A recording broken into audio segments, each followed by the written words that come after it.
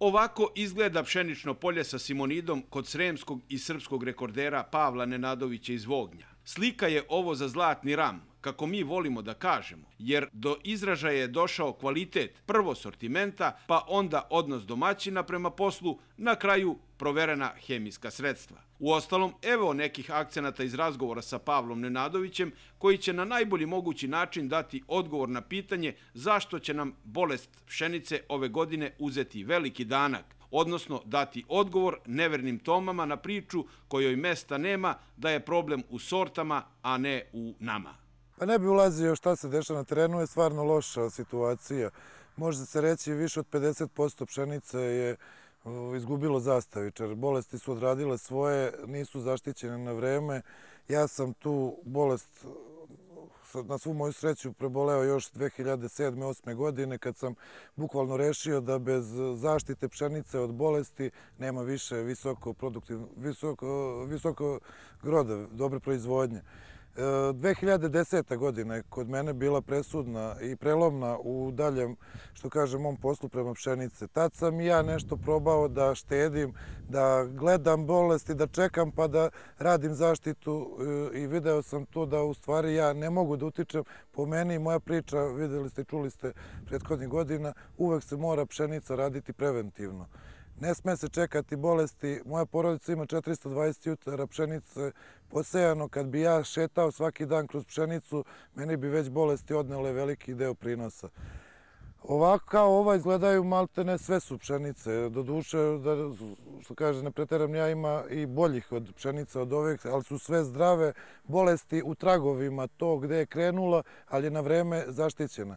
Prvi tretman išao je krajem marta sa Falkonom, Bajerova hemija, kompletno kod mene na gazdinstvu e, u dozi od 0,8 litara. Posle dve, tri nedelje išla je sa sferom pola litre po hektaru i evo pre par dana završili smo i u fazi cvetanja ovaj, sa prosarom, litra po hektaru.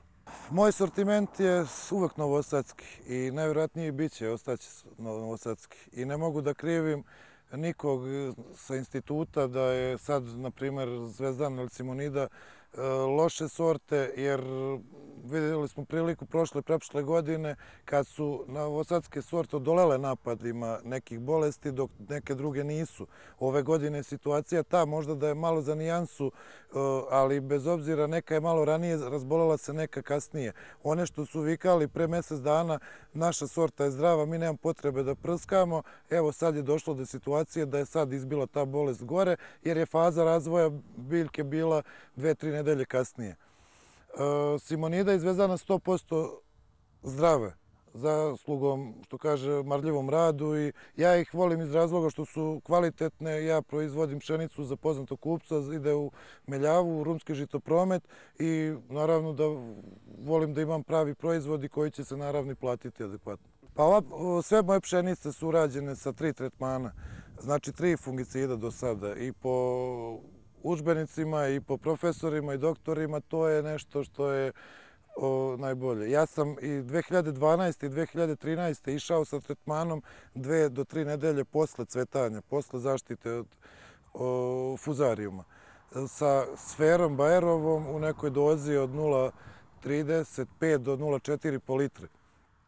E, zašto sam to radio? Jer evo sad najavljuju, što kaže, kišno vreme, kišnu nedelju, ovu drugu dekadu maja. E, Prosaro jeste dobar preparat, ali nijedan preparat ne može da izdrži više od dve do tri nedelje po meni e, da štiti biljku od bolesti.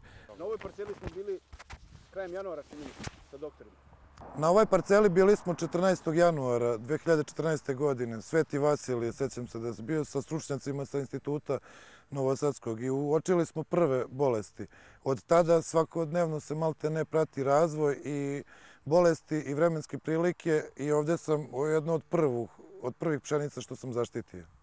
Kad se nađete u društvu ovakvog domaćina, rekordera u proizvodnji pšenice, onda pitanja sama naviru, pa i ona koja se tiču ne toliko zaštite, koliko šta će biti sa cenom, hoće li biti opet pšenica loše kvaliteta i tako dalje i tako dalje. Ovaj deo razgovora Pavle Nenadović otvorio je sledećim rečima. Pa ništa, osim više sile se sad trenutno u proizvodnji pšenice ne bojim. Naravno da je bitno da padne lepa kiša, mirna, bez vetra, da ne bi poleglo, a s druge strane i da bude neke normalne temperature, da nema tog toplotnog udara, da ne prelazi 35 stepeni u toku dana i da noćne ne prelaze preko 25 stepeni. Ako bi tako vreme nastavilo, na ovoj parceli, mislim, na svim mojim parcelama prosek može da pređe i prošlogodišnji, koji je bio 8,6 tona po hektaru. Ove godine, e, u ovo vreme, u odnosu na prošlu godinu, ovaj, pšenice su mnogo bolje i mislim da sad ima potencijala da se sruši i prošlogodišnji rekord od 8,6 tona i da se približimo onom čemu težim 9 tona po hektaru proseku. Iako je sve bilo protiv toga da ostvariš ovakve prinose. Pa naravno, ali ja sam i prošle godine istu ovu zaštitu išao kad nije bilo potrebe i dosta njih su mi rekli ti si lud, to ne opravdava. Ali e, ne može čovjek odjednom sve da uradi. Ja ovo učim već e, od malih nogu, zaštitu pšenice iz godine u godinu poboljšavam. Jer jedno je priča stručnjaka, jedno je priča trgovaca, a druga je priča kad mi to sve primenimo i kad u glavi imamo u naredni mesec dana šta ćemo uraditi, šta ćemo kad primenuti i spremiti se da ne trpe drugi poslovi. Pored ovog ja imam i 300 20-30 jutra kukuruza koji su besprekorni, koji su čisti, imam vremena da čekam za protiv prskanja od trave, malte ne ako treba i dve nedelje. Ne mogu da te ne pitam koliki su troškovi bili po hektaru, jer jedan mi je rekao iz Majeva, Savica Rakić, ljudi, uložite dinar, dobit ćete tri. Je li to moguće? Pa kao i uvek što sam vam rekao na to pitanje i sad je istinito odgovor, uopšte ne znam koliko košta. Jer moj cilj nije da računam koliko to mene košta kao većina ljudi. Moj cilj je da imam 100% od proizvodnje, da imam zaradu. Ovo sada hemiju platila je roba iz prošle godine. I ove godine zaštita deo te pšenice doneće da vrati tu hemiju i da meni ostane da zaradim. Ja verujem da ću ove godine znači, naplatiti svu tu zaštitu u poslednje četiri godine. Jer ove godine, zbog dobrog prinosa, bit će veći problem. Kod mene će biti, kako sad izgleda, dobar prinos, a isto tako i dobar kvalitet.